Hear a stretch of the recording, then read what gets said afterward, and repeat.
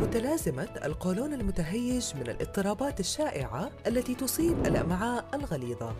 تشمل مؤشرات المرض والأعراض تقلصات وآلام البطن والانتفاخ. تحتاج متلازمة القولون المتهيج لعلاج طويل المدى حيث أنها تعتبر إصابة مزمنة.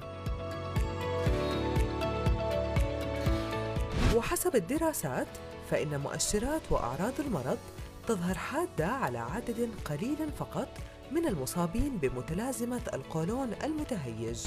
ويتمكن البعض من السيطرة على الأعراض من خلال الاستشارة الطبية.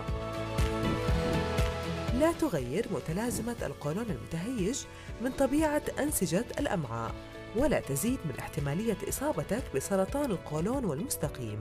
ولكن تظل إصابة مزمنة وتحتاج لتوعية أكثر.